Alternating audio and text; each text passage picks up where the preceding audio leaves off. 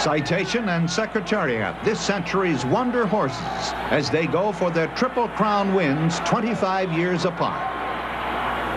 The Triple Crown of Racing, Citation and Secretariat is the theme of our show on The Way It Was.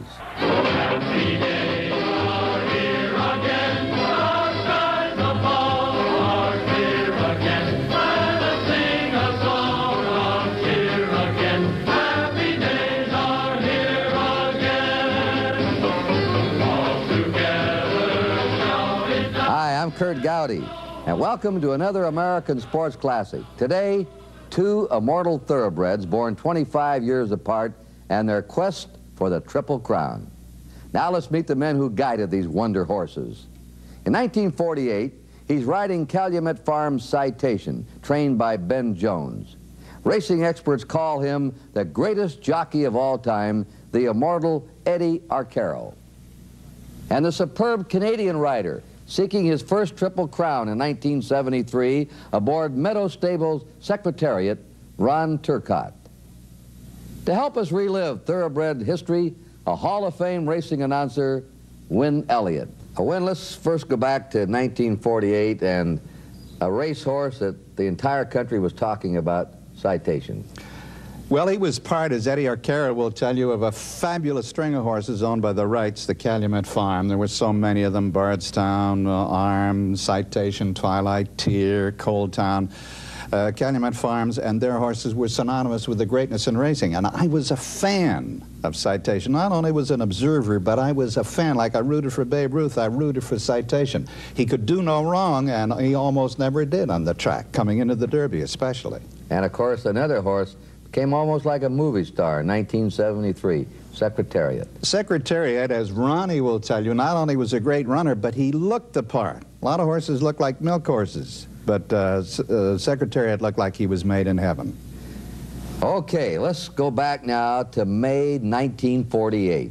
It's the 74th running of the Kentucky Derby and the voice of Win Elliot. The twin spires of world-famed Churchill Downs Racetrack. You know what that means. Kentucky Derby, Louisville, Kentucky. This the 74th edition. And fans from all over the nation are here to see the Run for the Roses. The Calumet Farm entry of Citation and Coaltown, 2 to 5 and it's going to be a classic American sporting event. The traditional 100,000 are on hand. It's a cold, wet day, but that doesn't keep folks from staying away from the windows and filling the track. The track, incidentally, wet and sloppy. And there he is, Mr. Big Citation, his stablemate Coaltown, Eddie Arcaro getting up on Citation. Ben Jones, the trainer, was in that picture too. And here they come out on the track. Eddie and Citation, stablemate Jockey Pearson and Coaltown. And the horse horse that's supposed to have a chance to possibly upset the Calumet pair, my request. And so the field takes shape. It's citation number one, Coaltown 1A. My request is number six on the outside. Billings is number five. Grand Père is number four. And Escadru is number three. Look at the track. It's heavy and sloppy as Ruby White. The starter gets up on the stands and looks at the field. They're in, almost ready.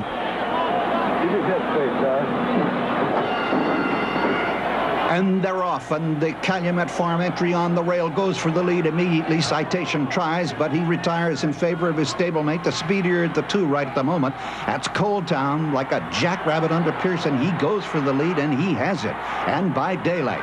And we switch to slow motion, but it doesn't slow down Coaltown as they go around that first turn. Look at him widen that lead. There were those who thought Coaltown was the better of the two Calumet horses, but not Ben Jones. And Arcaro a little concerned, but he stayed with his citation, and this is the reason why as they go up the backstretch. Big Cy starts eating up that wet track, and as they come to the head of the stretch, Coaltown has just about had it. Mm. Better put, Citation is taking it. And look at him stretch out. A little reminder that he's still in the race from Eddie. Now he lengthens out, and as he pleases with his ears standing up, he's not under any kind of pressure. He's got it. Citation, the winner of the 1948 Kentucky Derby, and a happy Eddie Arcaro as he comes back to the plaudits of the crowd, greeted by plain Ben Jones and owner Warren Wright, and there they are, the traditional handshake, the blanket of roses, and all that goes down in the history books for a Citation, the great Calumet horse. He's got one in the bag and two to go. Well, what do you say we jump ahead now? Let's go 25 years ahead to Churchill Downs, May 5th, 1973. And now it's the 99th running of the Derby. It's been a quarter of a century since we had a three-year-old the caliber of Citation who won that Kentucky Derby in Louisville. And there are those who say this year, Secretariat, the three-year-old from Meadow Stable, owned by Penny Tweedy and trained by Lucien Laurin, there are those who say on the basis of a brilliant two-year-old career, maybe he can do what racetrackers have been hoping for for 25 years. He had a bad race in the Wood Memorial, remember. And we're ready for the 99th running of the Derby. Watch Shecky Green, number 11. He's got the speed. Angle Light, remember, he won the Wood Memorial. Royal and Regal is fast. Forego, he's big. He's got the credentials. Or will it be Secretariat? Chick Anderson, the call. Secretariat throws his head a bit.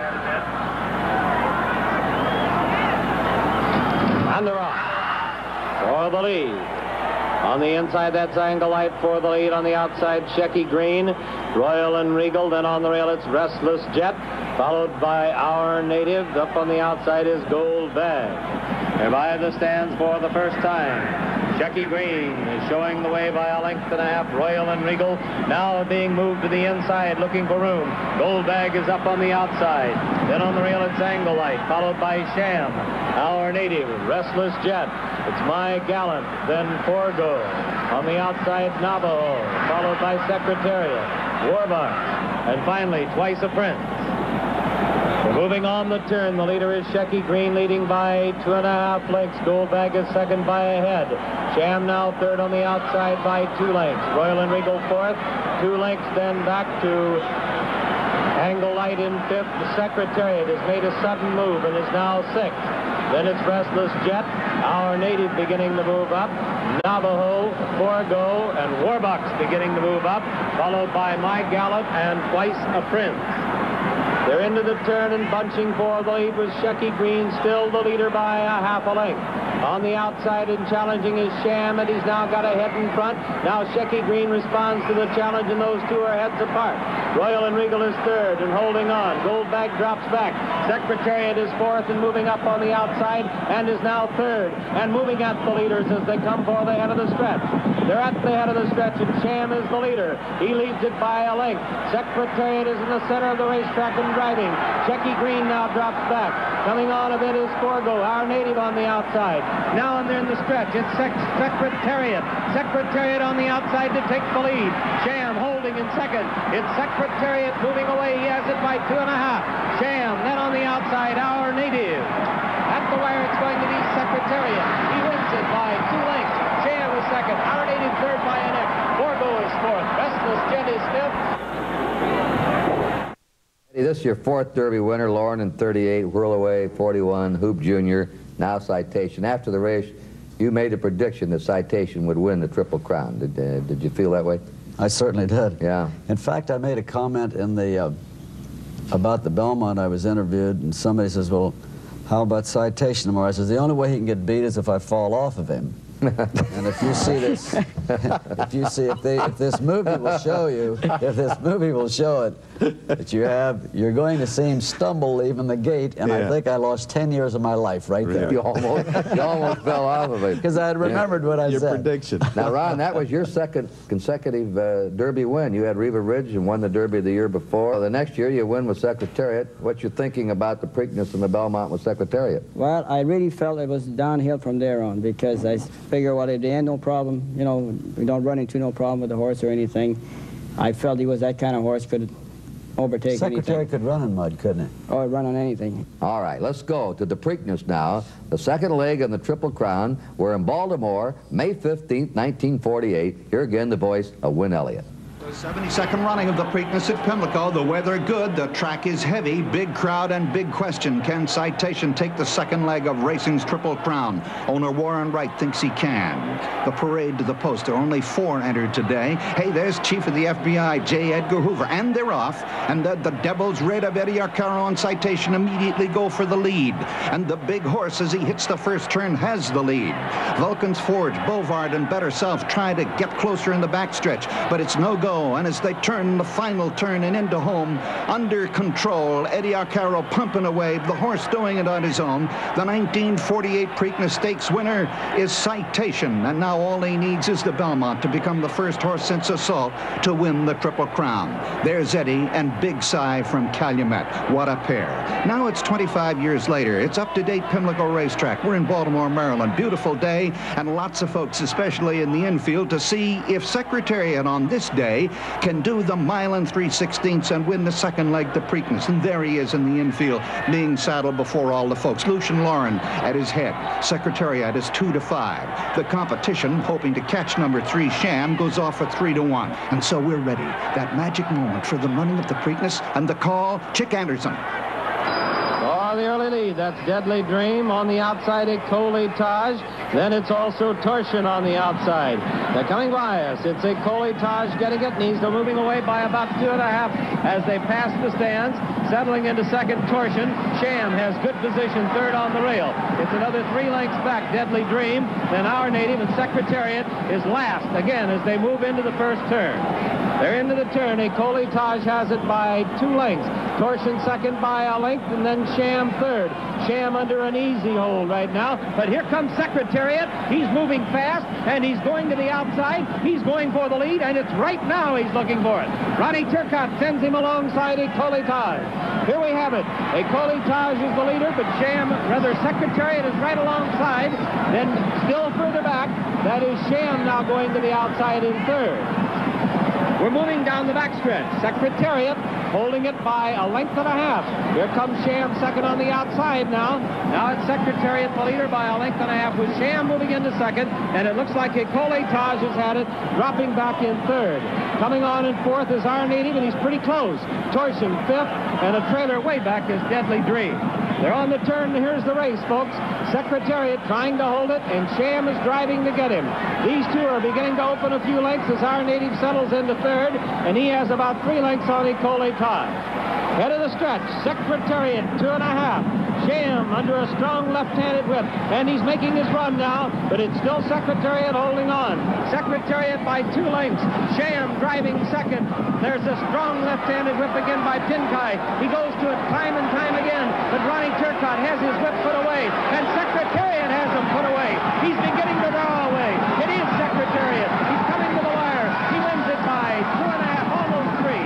Sham an easy second, our native third. Ecole Etage fourth, Deadly Dream fifth, and Torsion is sixth. And it was a powerhouse race again by the big, strong Secretariat, who made a very, very swift move on the backstretch, took the lead surprisingly. Secretariat has now won the Kentucky Derby and the Preakness Stakes, and this time he did it the same way. Now for the third and the toughest jewel in racing's Triple Crown, the Belmont Stakes. It's a mile and a half, and Eddie Arcaro is about to become the only jockey in racing history to win a second Triple Crown. For Ron Turcotte, he must win this race to prove Secretariat's greatness. So now let's go back to New York and the voice of Win Elliot. It's 1948 and the 80th running of the Belmont Stakes, and this huge crowd is out to see Ken Citation win the mile and a half test of champions. If he does, he takes the Triple Crown, the first to do it since King Ranch's Assault.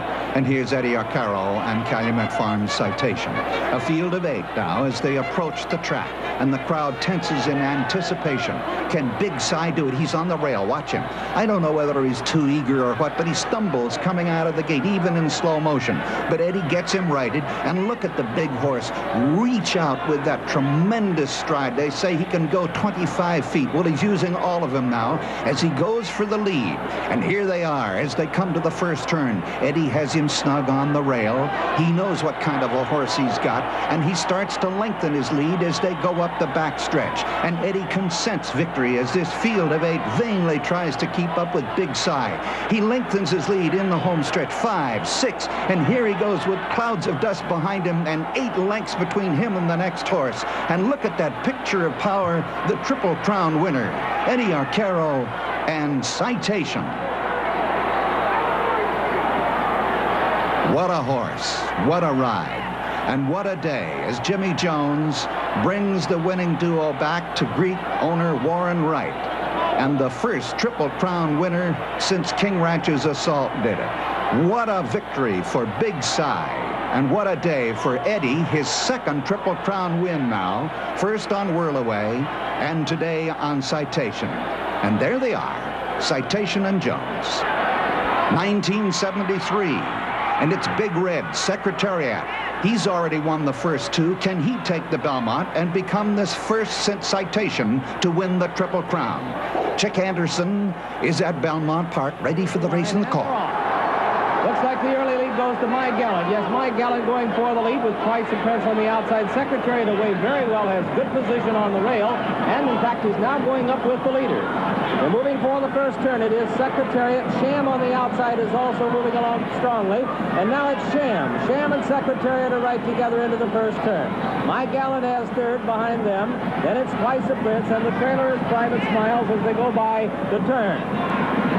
Those two together, Sham on the outside. Sham getting ahead in front as they move around the turn with Secretary at second. Then there's a large gap. Make it eight lengths back to My Gallant in third and Vice Prince fourth. And Private Smiles is still the trailer. They're on the backstretch. It's almost a match race now. Secretariat's on the inside, by ahead. Sham is on the outside. They've opened 10 lengths on My Gallant, who is third by ahead, with Vice of Prince fourth. Then it's another eight lengths back to Private Smiles, who is trailing the field. They continue down the backstretch, and that Secretariat now taking the lead. He's got it by about a length and a half. Still Sham, 10 lengths back. My Gallant, Twice a Prince. They're moving on the turn now. Turn at Secretariat. It looks like he's opening. The lead is increasing. Make it three, three and a half. He's moving into the turn. Secretariat holding on to a large lead. Sham is second, and then it's a long way back to My Gallant and Twice a Prince. They're on the turn. Its Secretariat is blazing along. The first three quarters of a mile in 109 and four fifths. Secretariat is widening now. He is moving like a tremendous machine. Secretariat by 12. Secretariat by 14 lengths on the turn. Sham is dropping back. Like they'll catch him today as My Gallant and a Prince are both coming up to him now. But Secretariat is all alone. He's out there almost a 16th of a mile away from the rest of the horses. Secretariat is in a position that seems impossible to catch. He's into the stretch. Secretariat leads his field by 18 lengths. And now Twice a Prince has taken second, and My Gallant has moved back to third. They're in the stretch. Secretariat has opened a 22-length lead. He is going to be the Triple Crown winner. Here comes Secretariat to the wire. An unbelievable, an amazing performance. He hits the finish 25 lengths in front.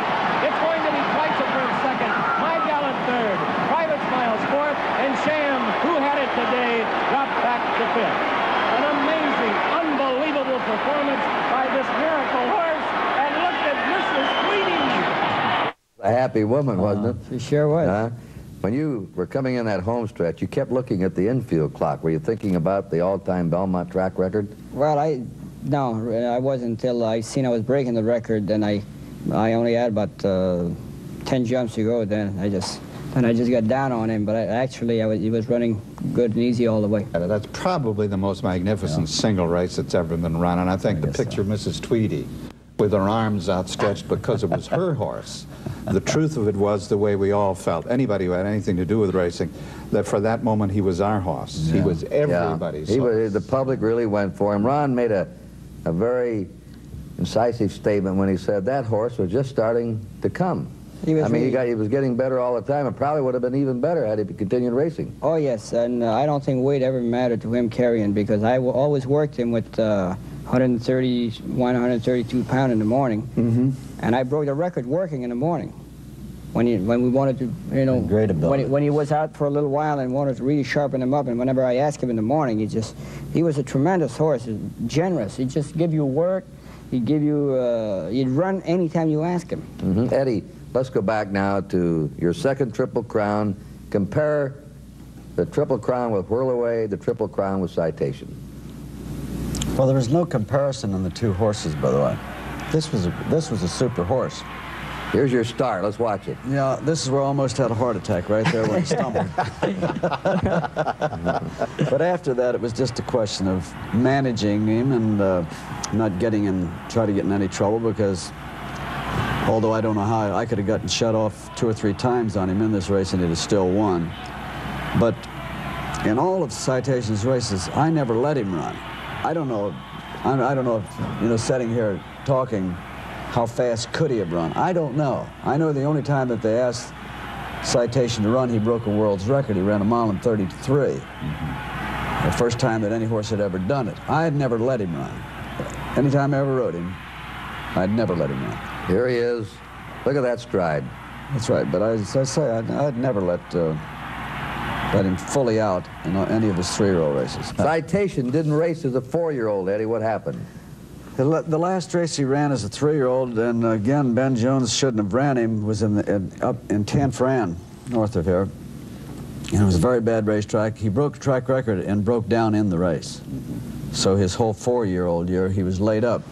This day and age, they would have retired him, as naturally the economics of our business, the racing game, keeps you from running a horse as a four-year-old anymore. I don't think you'll ever see a real top horse race as a four-year-old ever again in our lives, because they can earn too much money in the stud, of course.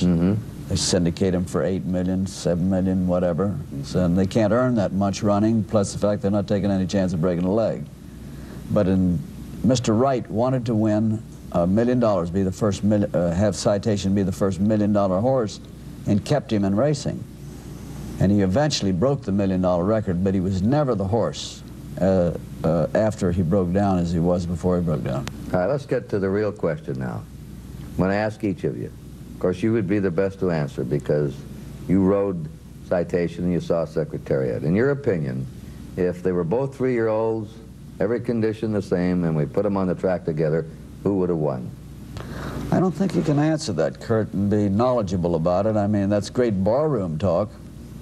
You know, you can argue forever who was the best. Uh, Longden is a very good friend of mine. He tells me Count Fleet was the greatest. Shoe Shoemaker tells me Swaps was the greatest. Ron is going to tell you that Secretariat was the greatest, and I'm going to tell you Citation was the greatest.